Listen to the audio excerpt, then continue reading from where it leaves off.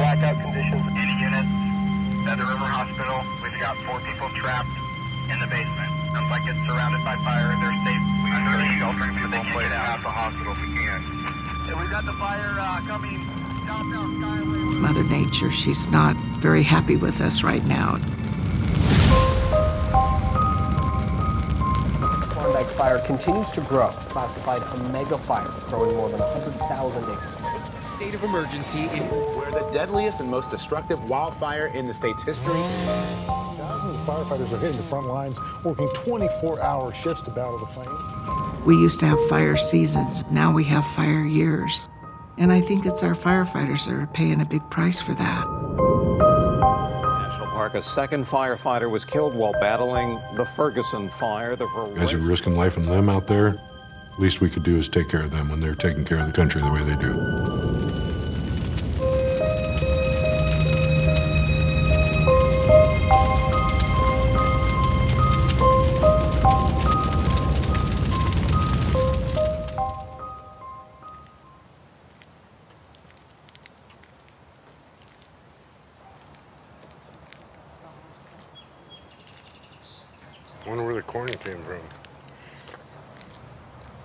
Most people in America don't even realize what wildland firefighters are, how dangerous it is, how many of them don't come home. Center with aircraft information on old order. Range 10 west, meridian, uh, latitude 41, 37.475 by. What doesn't the public know about wildland firefighters? You know, when most people hear firefighter, they go right to the red truck that's driving around downtown. That's a uh, structure firefighter. It's a huge difference. Structure guys defend structures, wildland firefighters defend nature. Fire officials say they've been using hotshots, who are famous for being the best of the best. Hotshots there, first ones in on a wildland fire. Stuff that you and I would want to hike, absolutely not. And they do it carrying a 40 pound pack of tools, working their way up it. You go to fires and people have a high expectation of us. You're expected to do the longest shifts, do the hardest things, go to places where no one else goes. Gone from family seven months at a time, pretty much. We're on fires 14, 16 days with travel, home to, gone again. 14, 16 days, home to, gone again. Back to back to back. They're right on the line of the fire with hand tools, digging a line to stop that fire from moving to more vegetation. Yeah, there's a lot into fire that I don't think people are very aware of at all. Do they know that they run through the forest with no respirators on, with just a bandana over their face? Do they know that they travel around in 10 man buggies for millions of miles a year? Do they know that they're rappelling out of helicopters and jumping out of planes on top of trees that are burning? I think, as far as dangerous jobs out there, um, you know, it, it's as dangerous as it gets.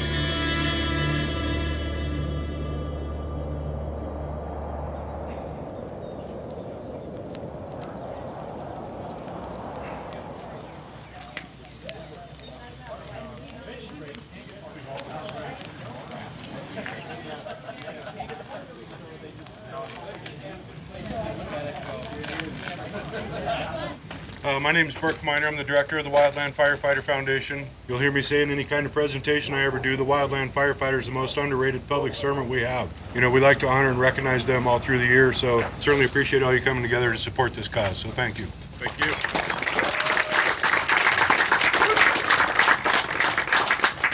My mom, Vicki Minor, had a vision back in 1994. I used to do contract commissary for the Forest Service. 1994, 14 people burned to death on Storm King Mountain. They'd all died in an instant, one of the worst firefighting disasters in recent history. I would be in camps, and at night you could hear some of those firefighters weep in their tents. And so we created a memorial shirt. One of our goals was to uh, sell that t shirt out of our commissary for the rest of that fire season. to send that money to the families of Storm King. That year, we raised $108,000 selling those t shirts inside the compounds. We sent that money back east to a nonprofit. Uh, we checked on the money a year later to see the progress of, you know, how it touched the lives and, and what it had done, and uh, figured out the money had never even got to the families. I'd ask them what happened to that money, and they said it was uh, administration costs, and and uh, that really bothered me. And so we started this foundation in my kitchen. Wildland Firefighter Foundation is a nationally known nonprofit. Our main mission is to reach in and sustain the home of a fallen or injured wildland firefighter. When that firefighter goes down, the rent doesn't stop, groceries don't stop. None of that stops, except for the paycheck and, and the family member uh, that's not coming home. And that's where we step in immediately. And we start getting that household whatever it needs. We found out that he had a wedding ring in the jewelry store, and we went down and got it out, and so she could have it before he was buried. And that's why we don't take government money, is we wouldn't have the fluidity to move and do the things that are from here. We're just a drop in the bucket uh, compared to the amount of people that we serve.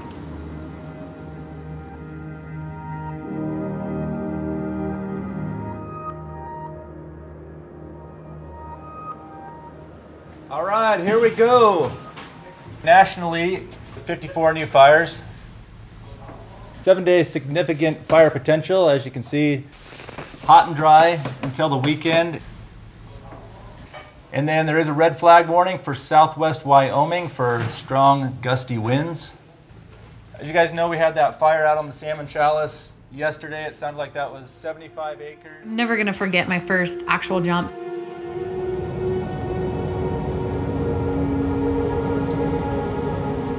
It was slightly terrifying.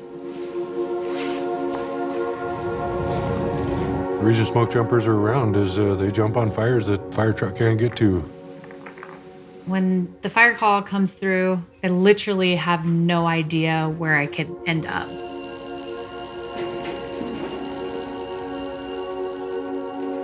When you leave, you don't know how long you're going to be on that fire. And so we need all the equipment that we might need for a long duration. Typically, that's going to be 110 plus pounds.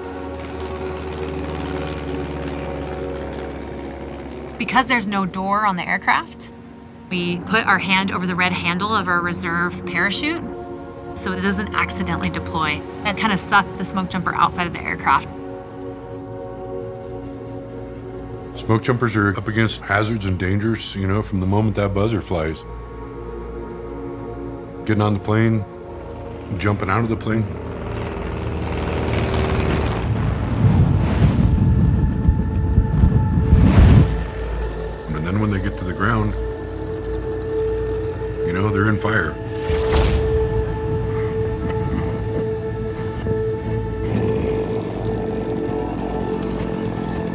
Around the fire. There's just one danger after the other. But it's, it's there and it's real. There's snakes, yellow jackets, poison oak. We lost a firefighter last year. Uh, a tree fell on him. We have a uh, down firefighter we need you to provide medical care for. That uh, call came, um, I mean, no one ever trained me to uh, talk to a mother that had lost her son or daughter. Um, and there's, there's no way to teach that or prepare that.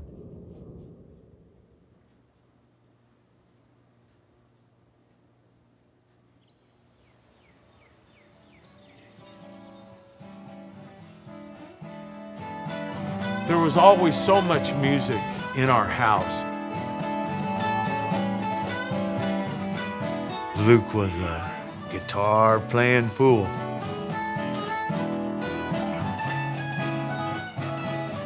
Ready to go, Soph?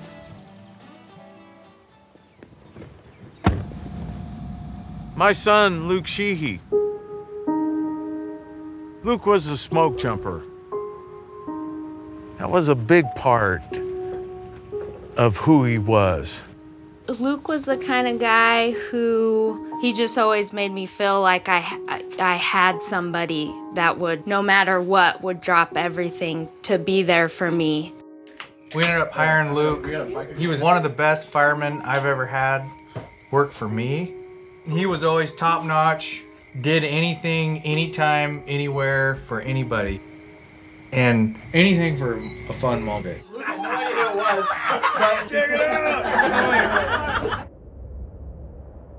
June 10th, 2013. Got a knock on the door. A burning branch had fallen, landed on Luke, and killed him.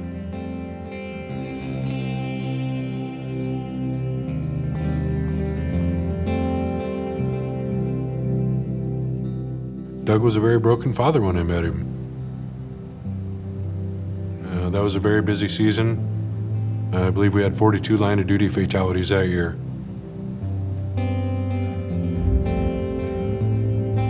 When someone you love dearly dies, your world just cracks open.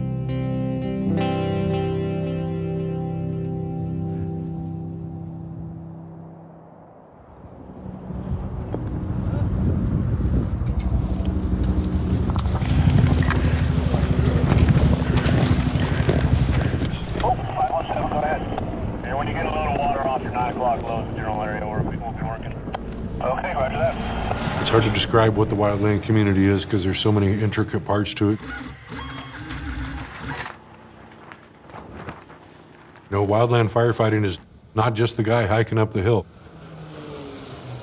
There's a lot of moving pieces and people that make that happen.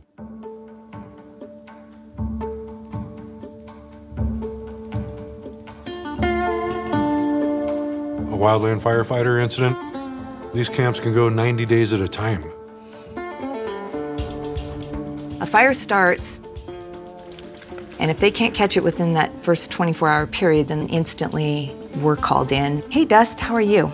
Usually late at night, 10 to 1 o'clock in the morning, and they need us immediately.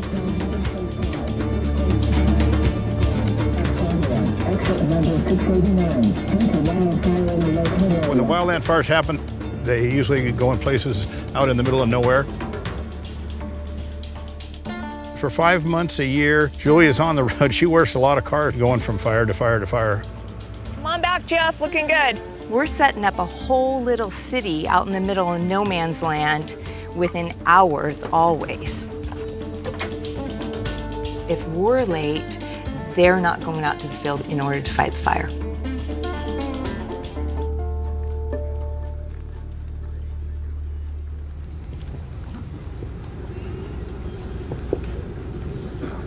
Morning, everyone. Morning. The big thing today is that we had a push to the south here, about 5,000 acres, homes threatened. Got to get this north end buttoned up today and tomorrow to withstand those kind of winds. There are so many people involved in all of this. And sometimes we have a community of 40,000 people out there on different fires all over the nation.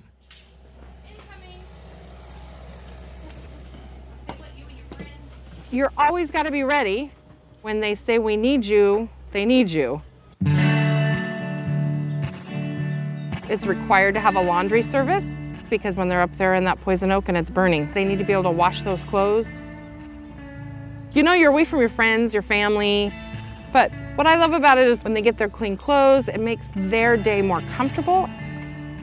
They're the ones putting their neck out for us to preserve this beautiful country we live in. And if I can make it a little bit better, that's what I would, you know, like to do. Everybody knows the importance of what they're doing. The fuel's got to be there. There's no equipment running without it, no chainsaws, nothing. So they basically are not going to fight the fire without fuel. We try to do, you know, nice fresh barbecue, fresh homemade meatloaf. Look at it out there. I mean, these guys are out, out there come on back here, get some good food, get some coffee, sit back, readjust, and think about the, the next step. You know, no, we're not we're not firefighters, but there's a lot of pride that you take knowing that you're helping the effort. We feel like we come in and actually help. We help to save the forest, we help to save lives, and hopefully we help to save firefighters.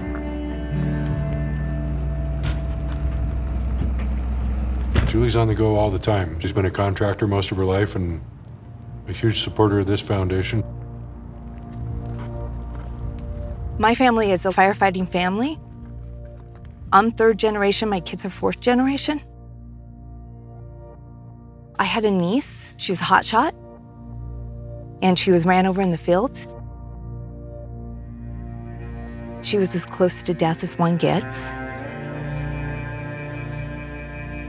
The Wildland Firefighter Foundation instantly jumped in there and they just made sure all of our logistical needs were taken care of. At that point, I realized how important they were, and there's so many people in the field that need them. When an uh, injury or a fatality happens on a big event there, everybody's ears are out there. They know what's going on.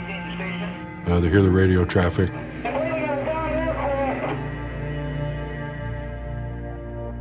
The wildland community, it doesn't matter if you're a state, uh, federal, smoke jumper, hotshot, they've all been touched with losing someone they knew. At least there's this healing place in Boise, Idaho, where people can go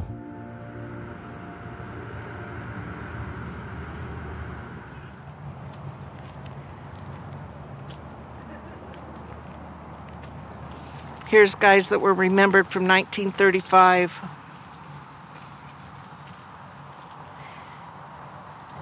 I went to the Vietnam Wall with a combat vet in Washington, D.C., and I saw the healing that happened to those men when they would touch the name on the wall. This is in the shape of a Pulaski. This is a tool that the firefighters use, and then, and I came back and I thought, we don't have any place like that for wildland firefighters.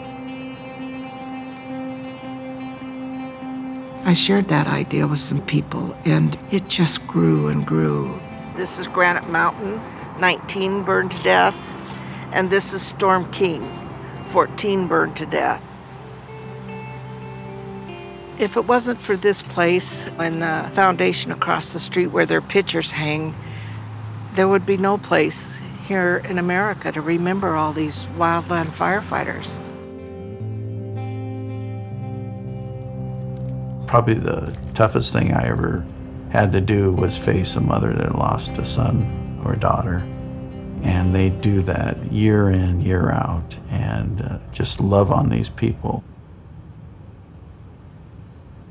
I have no idea how they can do it. Dealing with injured and fallen firefighters is a year round thing now.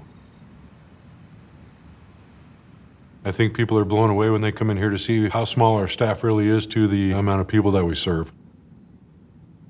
Obviously, being a nonprofit, we're up against funding all the time. We try not to worry about where the money's come, but it takes time to find donors specific to your mission. Um, it takes time to write grants. It takes time to do all that. And sometimes we don't have time here in the fire season. Fire don't give you time, you know? thousand people are unaccounted for. Think about that. Over a thousand people unaccounted for in Northern California after a fast moving wildfire demolished the small town of Paradise. The firefighter killed today A died. second firefighter was killed while battling So the at Ferguson. this point, they're expecting this death toll to rise. It's already the deadliest in California history.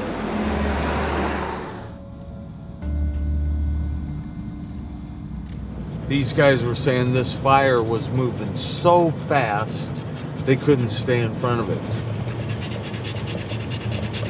That house is lucky to be there. Big, nice house. He came up here a lot to run and mountain bike and stuff like that. After Luke died, we were in some alternative universe, didn't know what we were doing with ourselves. I had no idea what the Wildland Firefighter Foundation was. And now I can say, oh, thank goodness for Burke.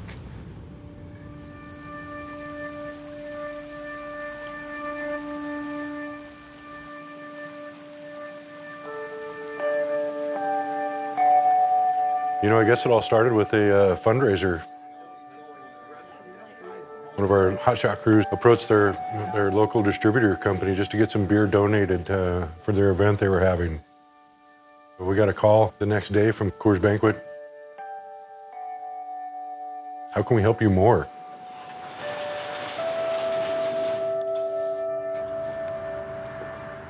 When we got this building, this was all hollow in here, and it echoed when you walked in here. And then after we got the shirts up, you could smell the smoke in here from the shirts.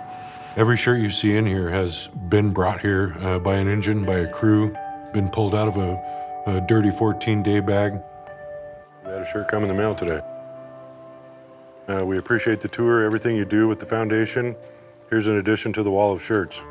And this guy's out of uh, Chugach National Forest in Moose Pass, Alaska. The shirts just keep coming in. I mean, we can't go a couple days without shirts uh, coming in. Without the funding of, of Banquet, uh, we wouldn't be doing what we're doing on the scale we're doing. You know, going to its fifth year now, uh, reaching more firefighters in a season uh, with their yearly donation. Judy decided to show up. Hey, what's up, man?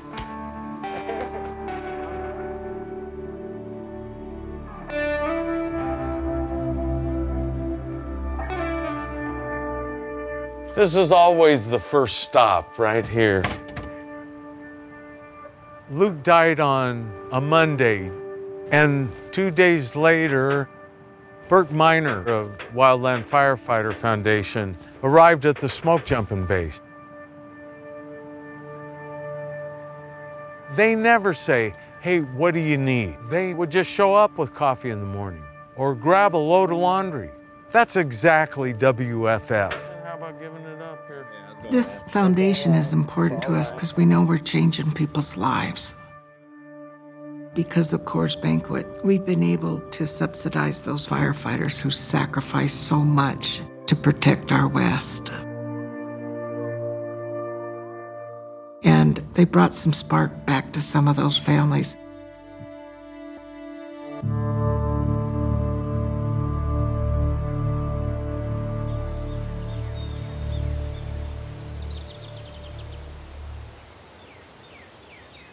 This I got at the foundation. It says, I may look harmless, but I raised a wildland firefighter. One of the hardest things about losing my son, you have all his clothes. And so I we had boxes of t-shirts and you you know, it's hard to just take him to Goodwill.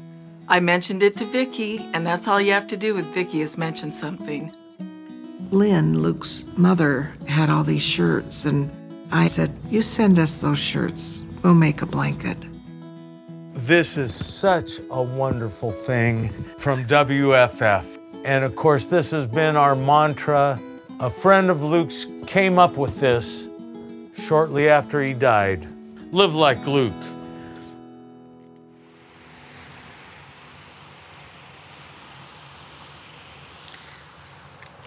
Here's Luke Sheehy's marker. I was talking to Doug one time, and he told me he was playing his guitar. And he could feel Luke right here behind him. One gift that I, I've gotten from Luke is that, you know, sorrow is just as valuable as joy. Whatever, whatever, feel it as deep as you can. Uh, live in the moment fully. Those stories help me understand that what we think of as the end is just a new beginning somewhere else. Whoa.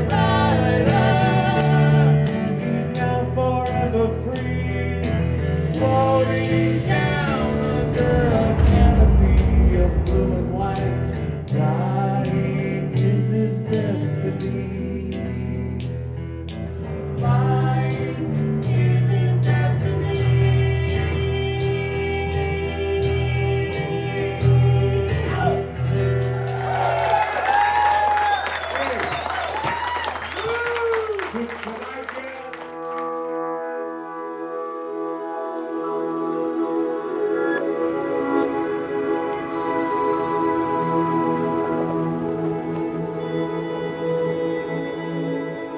I don't know how we could have survived through that period without WFF.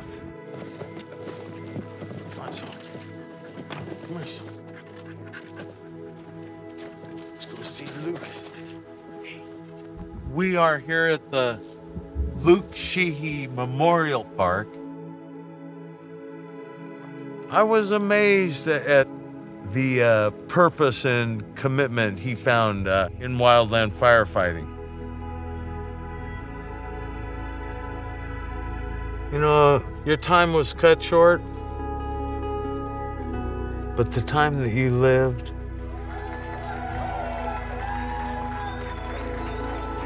you ought to be awfully proud.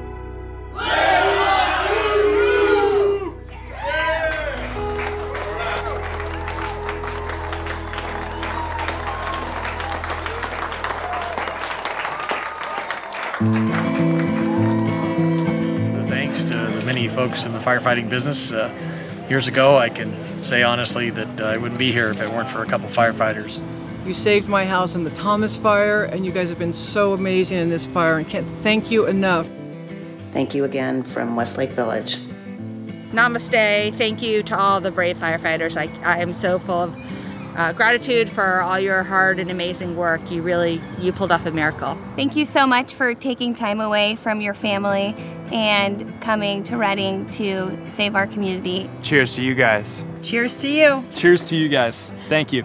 Thank you very much. Cheers to you. Cheers okay. To you. Y'all are awesome.